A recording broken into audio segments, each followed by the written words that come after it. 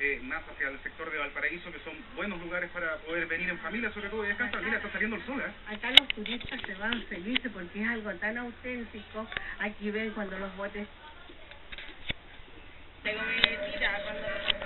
Al principio con el pequeñito era más lento, ahora fue al tiro. Al parecer no importa... El... Felicidades. que te está viendo y que no se pierda el festival, por supuesto, de Viña del Mar.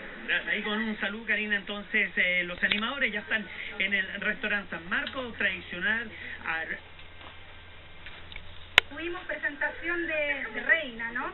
Tigre de Alegría se robó las pantallas de Canal 13, ahí ustedes pueden verlo, estuvo en el programa Bienvenidos, donde se lanzó la candidatura oficial con Pancho Saavedra nuevamente como generalísimo de esta, de esta campaña, ¿no?